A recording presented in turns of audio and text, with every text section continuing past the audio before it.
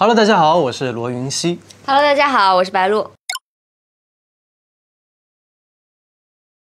首先，它的整个世界观都非常的宏大，然后我觉得对于演员来说，这样子一种宏大的架构是非常具有挑战性的。女主有三个不同的身份，男主有三个不同的身份，然后我觉得穿梭于这不同的几个身份当中，每个身份又有不同的性格、不同的经历和身世，就是感觉演了一部戏，爽了三部戏的感觉。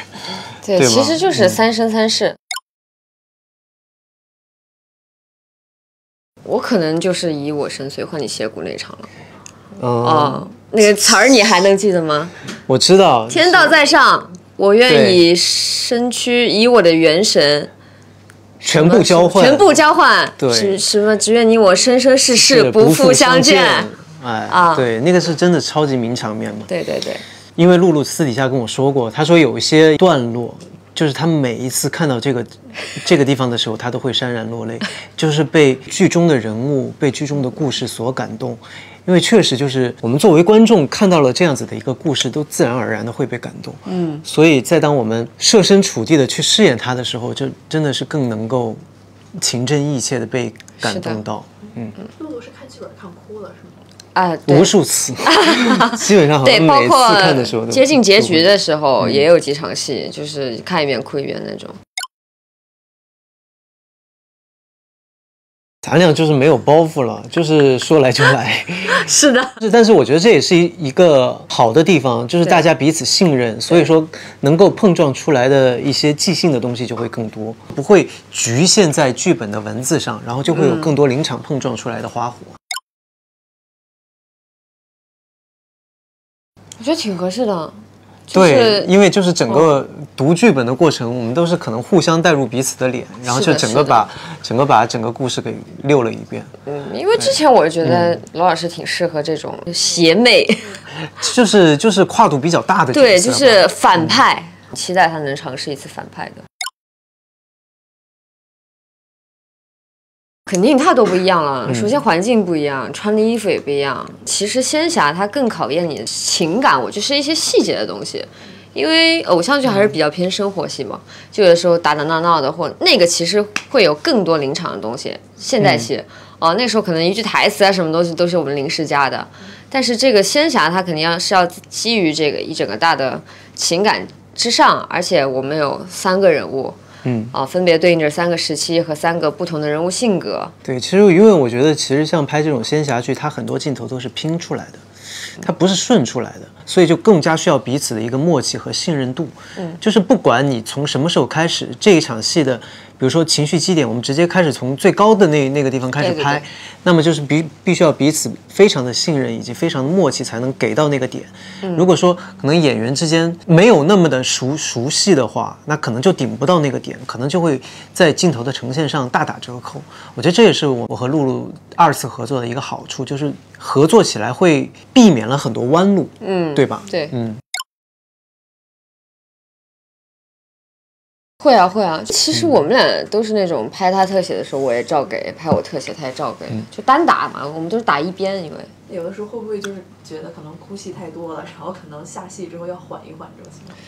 其实真的露露就是，我刚刚刚刚才看到一个他们给我看的一个片段，你在最后不会是墓碑前那个吧对，就是那个，就露露哭得非常伤心，然后在正正式拍摄的时候就已经非常投入了，但是当他回房车的那那一段路程的时候，哭得更伤心。你因为那不是我不知道你记不记得我记得，我记得，就是我刚才我看到的嘛，然后我说你有骗我那个因为那个那场戏的回放一直一直在我手机里，嗯有前前后后，因为那是一遍过的，就只拍了那一次，五分多钟。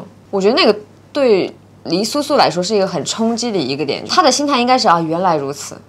哦，原来这个男人他一直在骗她，原来他是想要牺牲他自己去成全我这样一个一个点。他终终于有点恍然大悟的时候，其实他的心情很复杂。就当时他看到那个墓碑的时候，而且关键是我们在之前还拍了一场戏，是他在那个墓碑前面，他在刻那个墓碑的时候，幻想我是作为一个虚拟人出现的时候，我记得那场戏根本就是我要笑着跟你演，结果我在那里哽咽到演不了，说不了词儿。就是大家真的会、嗯会被剧情所感动。对你知道吗？我看看到那个片段的时候，我真的想化身澹台烬冲到前面去抱着你安慰一下，真的就是、哦就是这样的啊，那些嗯，特别能有代入感。露露有没有印象深刻？就是罗老师他在片场就是情绪很爆发的一场戏。哦有，但那场戏就是说我是个尸体，就我我得憋气，就是我已经挂了。哦，我知道，啊啊啊！对，但是我能感受到他的情绪。个没法保证啊，我觉得戏为大吧。你要真的，你真的走进去了，其实你你的情绪可能没有那么美观，但是你的情绪是可以带动观众的。对比如说我哭嗯，戏就容易脸就皱巴在一起，但是我觉得这种情绪是 OK 的。啊、你要非要去在意那个点的话，可能你也打动不了观众。你就这就是所谓的包袱太重了。嗯，对，所以就不能有这种这种情况，就是说什么还还还在哭戏的时候注意自己的表情对啊，这种我觉得都是浑然天成，是怎么样哭就是怎么样哭，或者并不是那种每场戏咱们都是暴暴雨梨花式的哭泣，然后也也可能就是那个时候你就是感动到流了一滴泪，那就是那个状态。自己一定要进入自己的角色，这样子才心无杂念，观众才会被感感动到，他才会觉得美。那个时候我们就经常在说，对吧？这个哭戏天天天天天都在哭，自己说啊，眼睛好痛。每拍一场哭戏，我们俩眼睛好痛。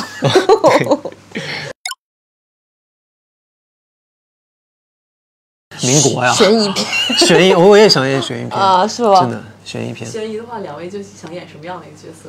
什么样的角色？那我肯定肯定是要演反派了他演反派，我去抓他，啊！是吧？我们不可以一起演反派吗？熬夜，那是那种双面间谍，就是哎，那挺有明明挺带感的明面上两个人都是好人，其实两个人都是坏人，然后各那种挺带感的，对对对，各种互相举报。反转到你都不知道到底是什么样的一种状态。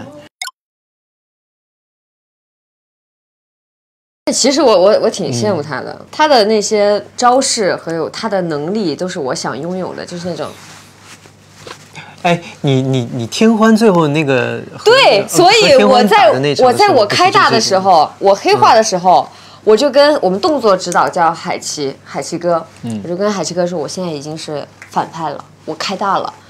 就是我能不能也来一下弹弹镜那种，弹指间敌人就消失了，然后他就给我设计，说那你就这样，然后我就这样，哇，好过瘾！原来谭台烬每天过的是这样的生活，好羡慕但是你知道吗？就是在神魔大战的时候，明夜和魔神啊！明夜是打的多一些，明夜和魔神打的那个时候，就真的，就除了我们所谓的这种法术、仙术以外，还有很多那种套招的那种东西在里边。嗯，我觉得完全还原了剧本上的那种打戏宏大场面的这种描述，就非常的过瘾，看花絮还有一场罗老师还要抱着陆老师，然后吊威亚的那个戏。太多了，太多了。因为我们衣服特别沉，特别特别沉，料子都用的很好，所以它会很重很重，包括头饰也是。所以有些戏没有办法，就一定要借助薇娅来完成。而且你记得那场戏吗？就是叶希雾跳完成了哦，之后挂了之后我知道，走整个皇宫甬道皇皇宫的甬道，然后这个距离真的是好几百米，很远。哇，还要上台阶。但是那天下了漫天大雪，我觉得拍出来真的还嗯，我觉得感觉应该会蛮好的。对，又悲又嗯美的感觉，又惨。非常精分，整部戏都非常精分。但是我觉得最重要的就是你要在拍摄的前期把每一个状态、每一个阶段吃透，你要把他的不同状态完完全全的刻在自己的心里，而且你要知道每种状态它是为何会是这种状态。比如说质子时期，他为什么要腹黑？他为什么要隐忍？景王的时期，他为什么又那么自信？前期要把底子做好，然后在拍摄的时候再与对手去碰撞出一些即兴的花火，我觉得这样就会游刃有余一些。嗯，就这三个角色，哪一个可能是对你来说挑战是最大的？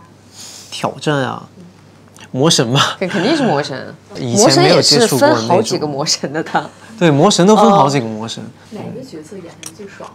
那肯定也是魔神。魔神澹台烬也很爽，澹台烬景王时期发疯的时候啊，也很爽，对，就像嗯、呃刚刚露露说，在他的墓前发疯的那场戏，其实也也很爽。然后还有我自己去找你的时候，嗯。因为对于演员来说，这种大开大合的戏，确实是非常的过瘾的。但其实有些时候，一些小的碰撞，一些小的细腻的东西的把握，也也是非常重要的。那露露就是除了可能服化道不一样，你能够精准的识别出罗老师现在在演什么角色吗？眼神吧，我觉得看眼神还是差别挺大的。像明夜，我特别喜欢明夜啊，我个人肯定是最喜欢明夜的啊，因为就是女生嘛，那个谭台静还是稍微有点坏坏的，对，有点疯。然后明夜就是一个特别正人君子的一个战神，然后就是那种万千少女的梦那种感觉。其实还好，因为对我来说，黎苏苏和叶希雾就是同一个人嘛，因为他是叶希叶黎苏苏去到叶希雾本体身体里面的，嗯，然后叶希雾本体是只有几场戏，但是那几场戏也演的挺过瘾的，因为他是个坏人，嗯，他是一个为达目的不择手段的一个坏人，但是对我来说，其实就是两个角色，就是黎苏苏和桑九这两个差别会大一些。那桑九就是一个从小就在捧在手心长大的一个公主，她特别的单纯，然后她又恋爱脑，她特别特别的爱 爱明夜，就整个花痴到不行。演桑九就是把那种小女生的东西搬出来就好了。黎苏苏跟我本人会像一些，就是她是她正道的光，老是要唱那首歌，她是正道之光，就是她是带带着任务回去的嘛。进入到叶寿本体当中，它会有一些人间的烟火气。其实也还有一个阶段，就是桑九黑化了之后，那个会是完全不一样的，跟叶希雾的本体也是不一样的一种坏。他那个是真的就是恶女了。那露露哪个角色演的最爽？那黑化的桑桑九啊，肯定是。我就一直想演个反派，我最想演的就是谭台静，就我一直很想再演一个就这种可以开大的角色。我就是刚杀青，然后刚录完跑男，有个一周的假期吧，然后再录跑男，然后进组。我就在忙采访呀。拍完长月之后，然后进入到下一个剧组，然后那个剧组，嗯，杀青完了之后，我就给自己放了一个长假，让自己完全的放松，完全的放下所有。第一，我觉得自己需要一个缓冲的时间，需要一个放松的时间。然后呢，最近才开始又，不是说长夜要播了嘛，然后开始忙采访啊，然后忙完采访，可能接下来就就进组了，我的假期也就正式结束了。如果你喜欢罗云熙的话，就请准时追《长月烬明》；如果你不喜欢罗云熙的话，其实你也可以在《长月烬明》当中看谭台烬被虐。如果你想看极致虐恋，想看绝美画面，想看精美服化道的仙侠，你一定要准时收看《长月烬明》。